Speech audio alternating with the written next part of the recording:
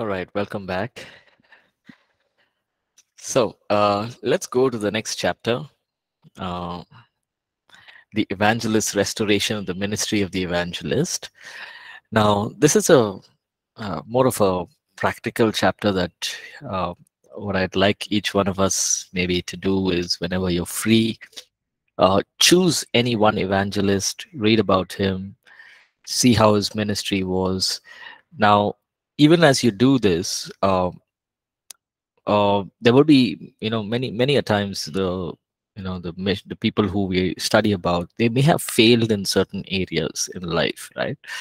So there are instances where God has used people greatly, right? They've been doing, they did a wonderful ministry, but they failed in the area of looking after their family, or they've done wonderful ministry and they failed in their marriage, right? Uh, it, was, it was a broken marriage. Why? Because all the time they were in ministry. So, so what I'm trying to get at is, uh, you can probably choose any one person, read about him, but take what is important, learn about their lives, be encouraged uh, with their life as well, so that you know uh, it'll help us, right? Uh, and learn learning from their lives is good.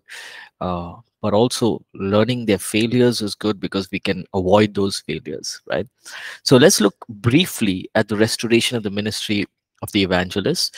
Now, after the book of Acts and after all the apostles and the disciples were martyred, uh, the ministry obviously went on.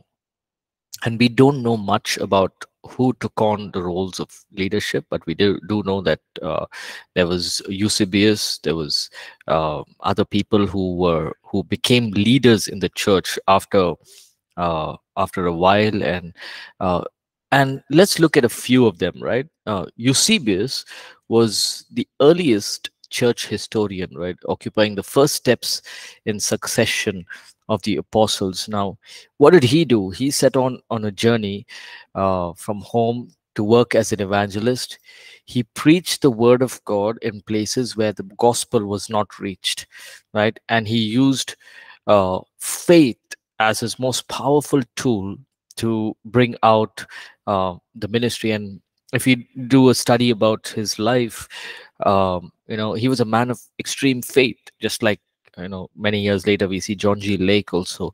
He was a man of extreme faith and uh, uh, eusebius was was one of that right?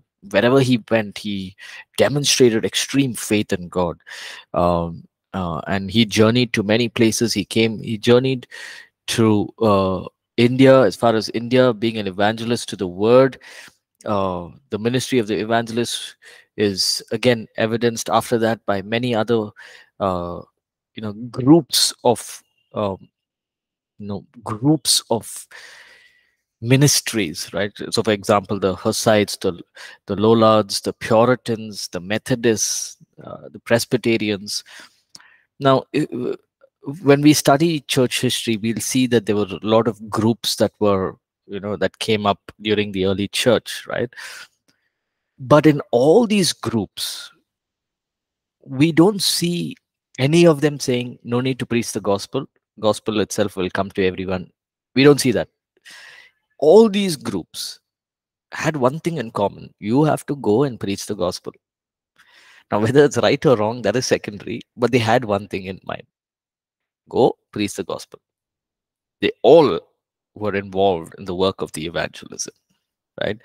Uh, and so when we look at this um, later on in church history, we see George Whitefield, right, who was uh, crossed the Atlantic Ocean 13 times.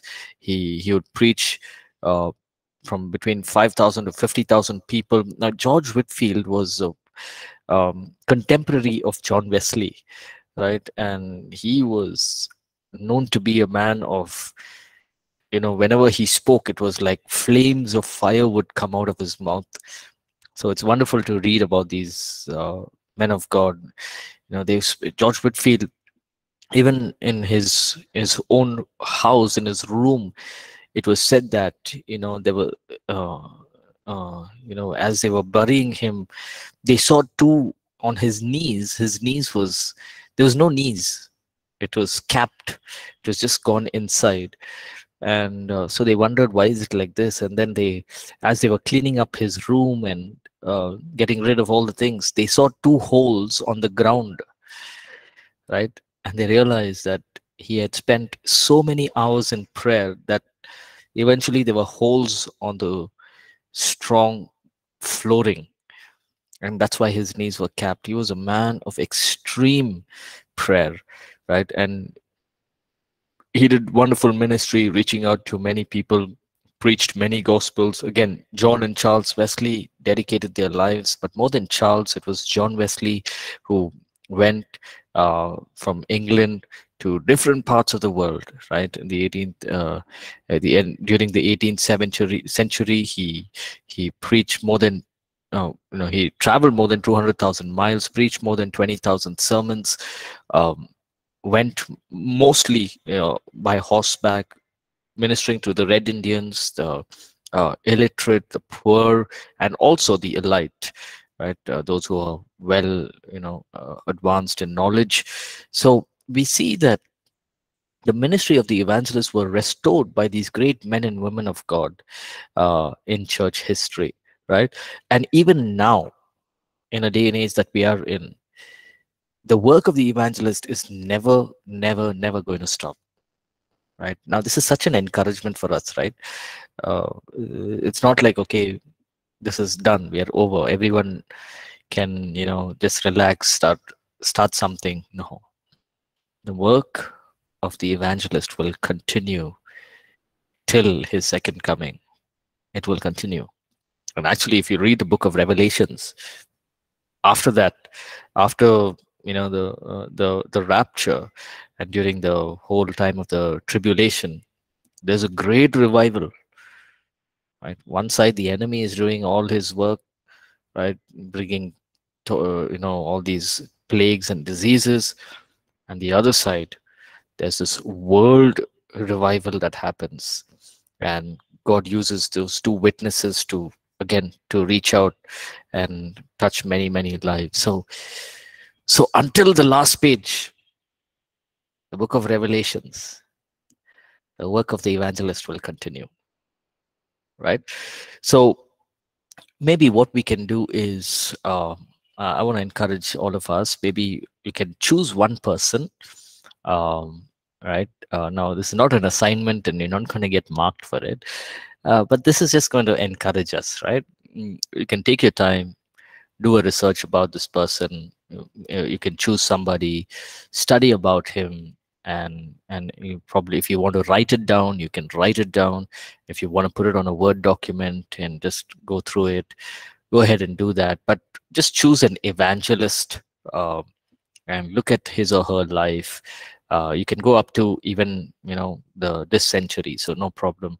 Uh, but the point is take in uh, you know learn from their lives right uh, learn the good things learn their success and learn from their failures as well right? So if any of you would like to share maybe next month or the following month you'd like to share uh, the document or you want to share during the class we leave it open so you can also share your thoughts as well so you can keep it a little bit interactive. Is that okay? Any questions?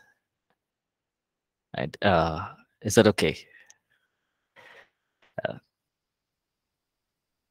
i don't think oh another assignment yes pastor right uh it's not an assignment right it's it's just so that we can learn right we can all learn together uh Okay, so let's move. I, I wanted to uh, finish this chapter, chapter five, the practical keys to doing the ministry of the evangelist. Practical keys, right?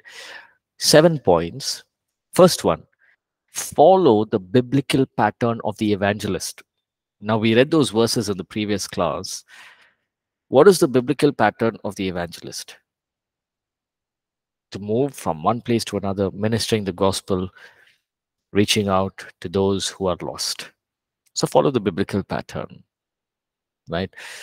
Uh, I remember this one preacher, uh, one of my known, uh, a known pastor. This happened in North India, and I was talking to him, and he said, uh, you know what? I invited this very well-known uh, uh, evangelist uh, to come and minister in my church. And do you know what happened? I said, yeah, tell me what happened. And he said, the evangelist, that person asked for five huge sum of money. Right? I don't know if the others can relate to that amount, but a huge sum of money to come and minister for one hour. Just for an hour, right? A huge sum of money. And this pastor was shocked.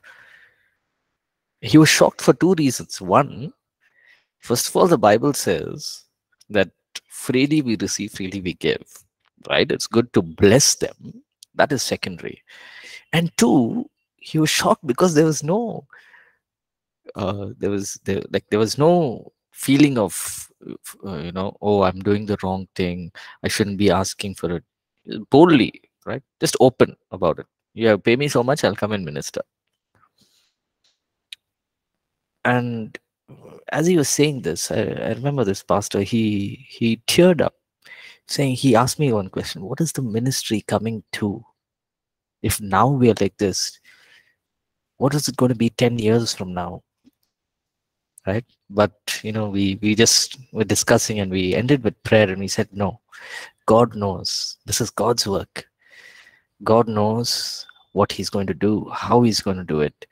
God is raising up faithful stewards of god who will bring the gospel in truth in power with integrity and honor. Right? So we were encouraged. But we will see these discouraging you know things happening right? Now i'm not saying don't you know don't bless or, or don't uh, ask for money.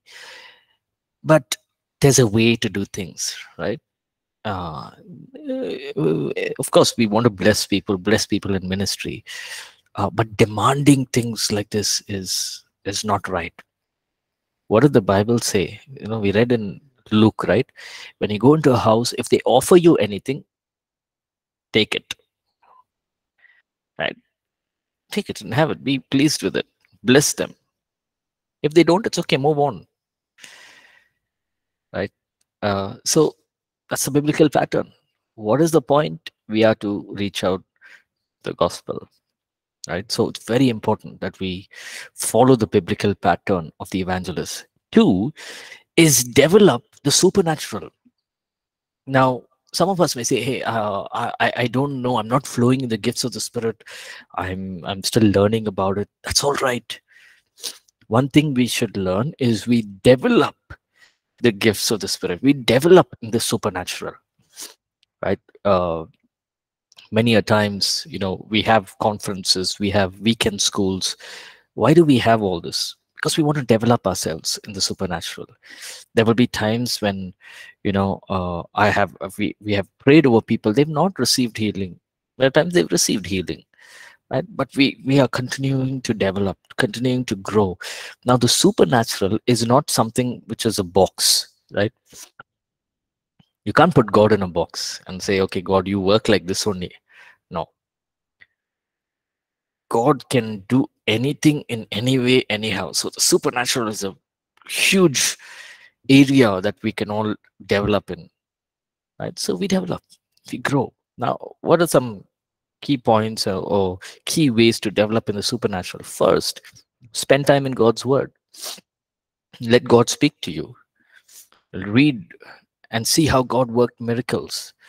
Now you know uh, I, was talking to some of my some people uh, you know that I know, and they were saying, you know what, um, I'm going on reading the Book of Acts, but uh, uh I'm seeing the supernatural. I'm praying, but I'm not, you know, uh, able to flow in it. So I said, is so you know, it's not only about reading it; it's about understanding it. What is their life? So I told this person, you go back, go read the life of Elijah I said Old Testament. Yeah, yeah. Read the life of Elijah. Did he do? Did he do the supernatural? Of course he did. Read the life of Elisha. Did he do the uh, supernatural? Yes. What about uh, you know uh, Moses? So you read their life, how did they develop they didn't have the gospel they didn't have the word they didn't have all these you know uh, the holy spirit to lead them every step of the way meaning inside of them. Right? Can you picture elijah standing there on the mountain trying to you know he's he's telling the people one against thousands. He's telling them now let's see whose god is a true god. That's a supernatural work of god. Supernatural demonstration of god's power.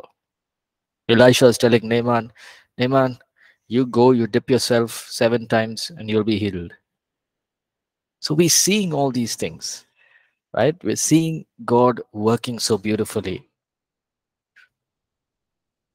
thirdly develop the ability to present the gospel in various audiences. Um, now, as an evangelist, we will get opportunities to minister to various audiences, right? So, for example, you have the church, then you have people who are in colleges, youth, then you have teens. Now, if I'm talking to a set of youth or teens, I'm not going to be talking about marriage, how to love your wife and how to love your husband. That they'll switch off, right? Uh, say, hey, pastor, I'm not married yet. So I need to develop this ability to minister to them in the right way, right?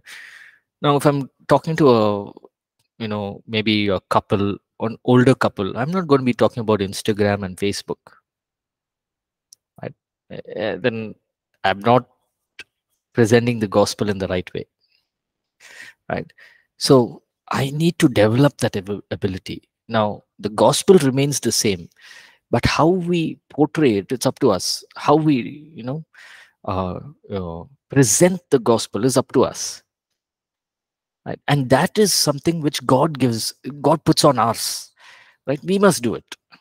And we can't say, God, you know, give me the exact sentence and I will say that. No yes we ask god god lead us give us the wisdom mm, we'll ask questions we will answer them and give us the right words put the right words in our mouth yes but we don't say god give me the exact sentence that i should speak no god puts the onus on us we have to we know the gospel we have to present it the right way right so we need to develop that ability if, if it's true for working professionals you know uh, you talk about something that they can relate to.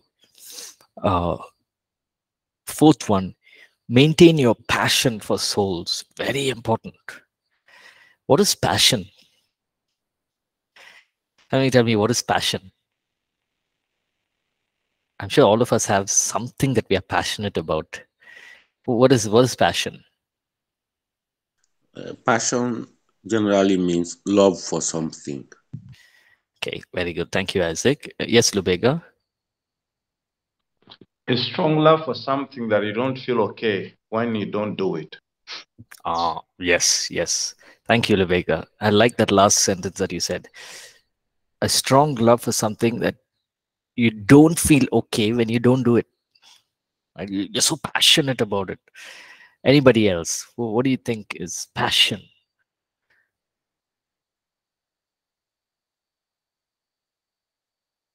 Yes, anyone else? Go ahead. Sid, Paul, any thoughts? Zelly, any thoughts?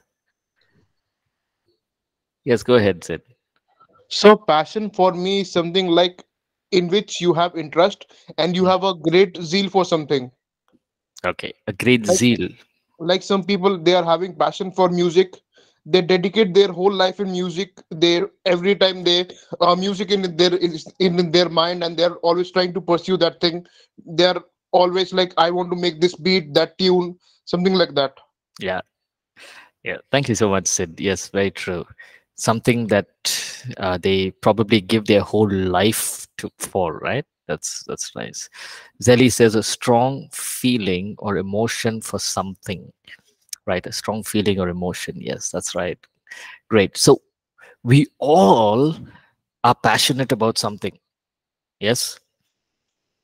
Now, if some of you, if any of us are not passionate about anything, please pray and ask God to make you passionate about something because i'm sure you will be passionate about something right?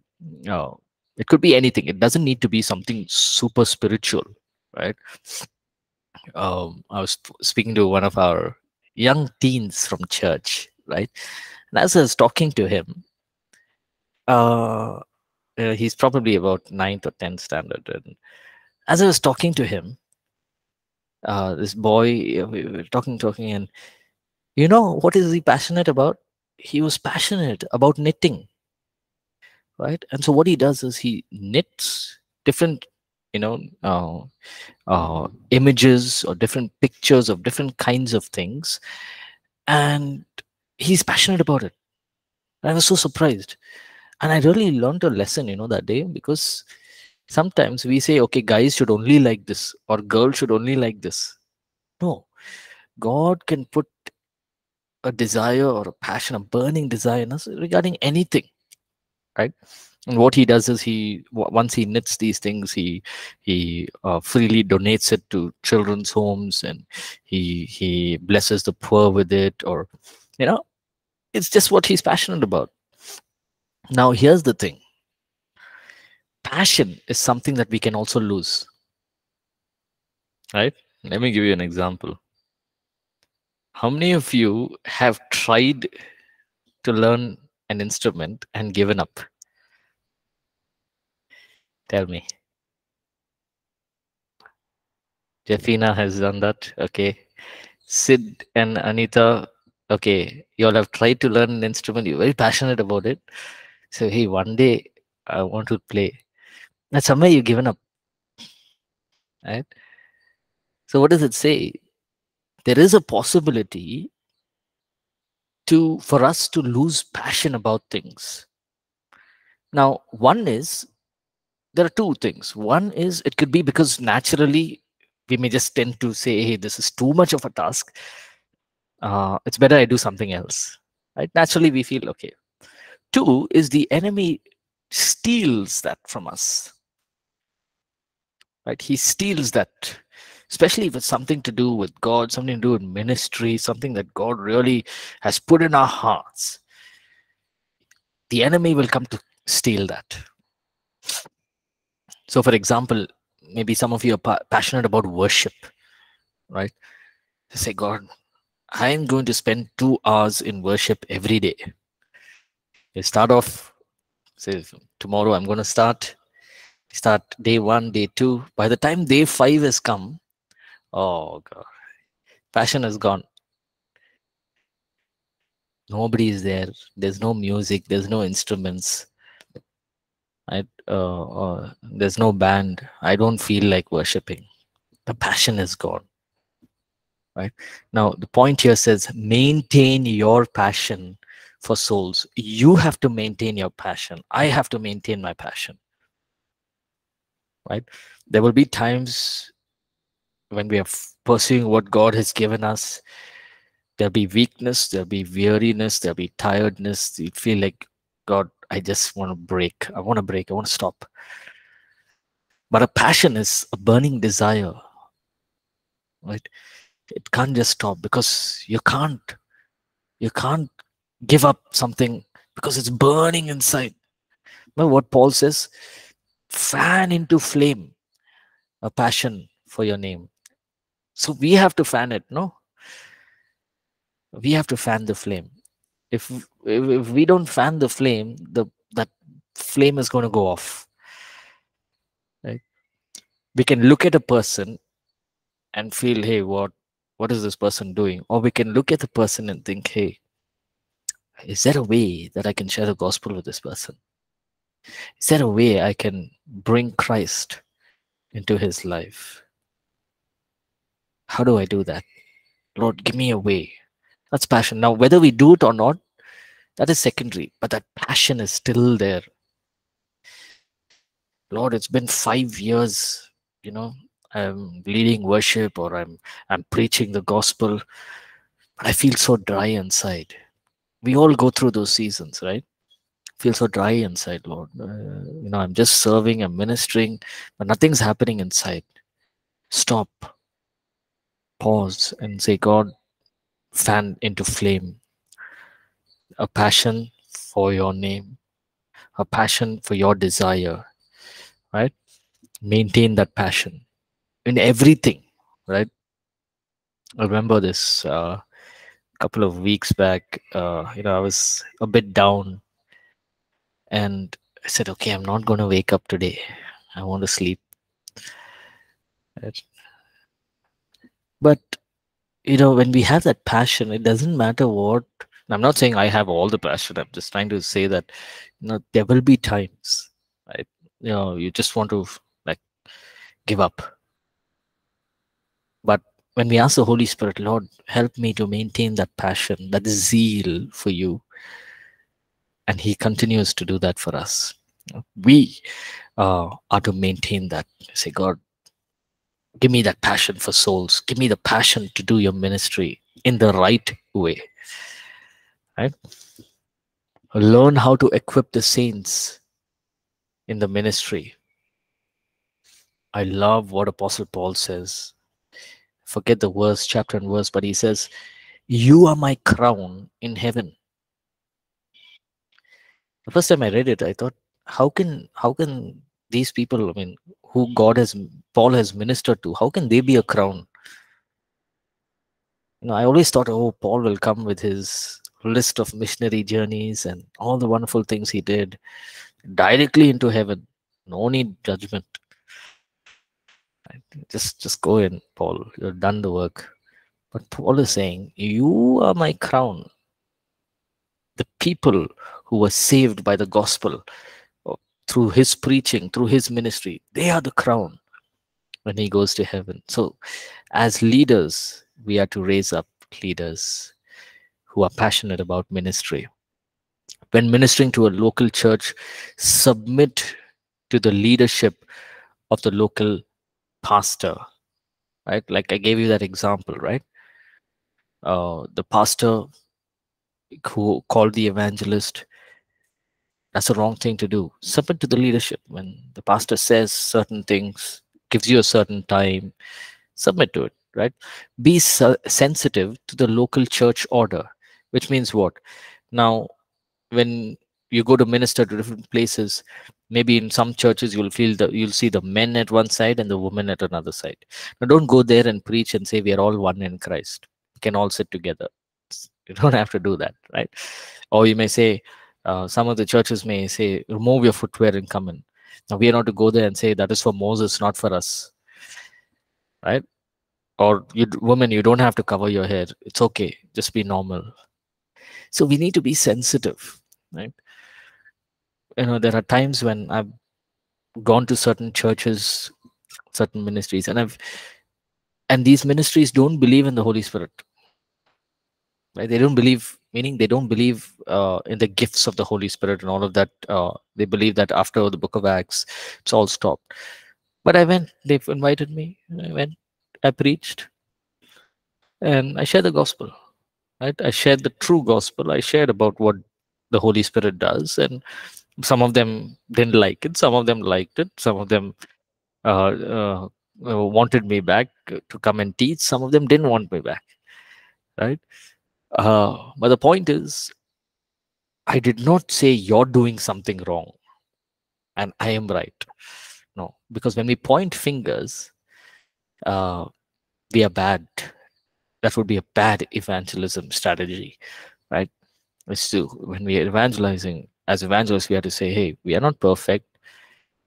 We are also learning. But this is what I have learned from the gospel. This is what the truth of the word is. So, uh, being sensitive to the local church. Finally, as an evangelist, even as you decide to be one, be connected to a local church, right? Um, uh, there will be times when now when you're connected to a local church does not mean you you know share the gospel with everyone in the church and then tell them okay why don't you go here or why don't you that would be again the wrong thing so let me just put this book up um,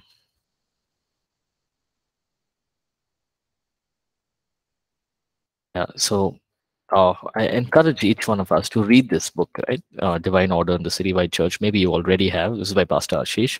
Um, read this book. It it will really help you to align your thinking um, and what the church is all about. And uh, uh, all right, so I think we'll come to a close. We'll stop here. We'll pick up from the next uh, week. Uh, any questions?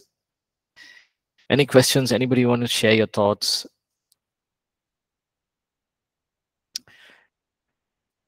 Right. So I think the main takeaway is uh, don't lose passion, right? Don't lose passion for God, for God's work, and uh, trust God that He will be able to, you know, lead you uh, even through those hard seasons, through the good seasons. God is faithful. Amen. Right. So maybe one of us could uh, close in prayer. Uh, any one of us.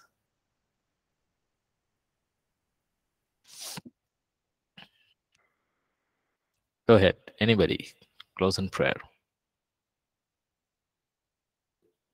Yes, go ahead, Jafina. Dear Heavenly Father, we come to you under the name of Jesus. We thank you for this beautiful day and for the beautiful class we had. God, we thank you for calling us. We thank you for choosing us, even you left the 99 and chased us down. And you have placed us right here with a great purpose. And we thank you so much for that. Help us to never lose passion for you. Help us to always look into you, no matter where we are, God. Thank you for loving us and thank you for the beautiful class. Thank you for uh, helping us to understand the role of evangelists and pastors and teachers, God. Um, give us the boldness that we need so that we can go out and preach the gospel boldly. Be with us and guide us. In Jesus' name I pray. Amen. Amen. Thank you. All right. Thank you, everyone. Uh, have a good week ahead. I'll see you next week. God bless you all.